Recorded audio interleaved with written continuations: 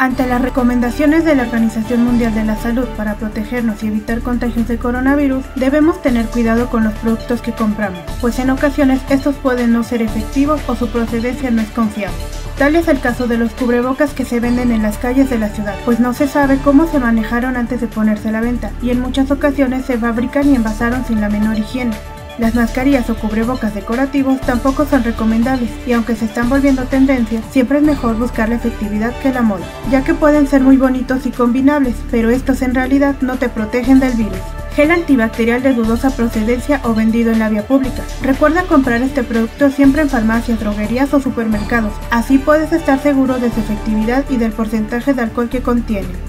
Tampoco debes comprar medicamentos como la hidroxicloroquina, un medicamento contra el lupus, porque de ninguna manera previene el contagio del coronavirus y su uso debe ser bajo estricta vigilancia médica. Además, estarás perjudicando a los enfermos que en verdad lo necesitan. También es importante tener cuidado con los remedios caseros. Algunos de ellos son utilizados para calmar los malestares de influenza estacional, pero si no conoces para qué sirven, es mejor no tomarlos, pues te puedes provocar una intoxicación.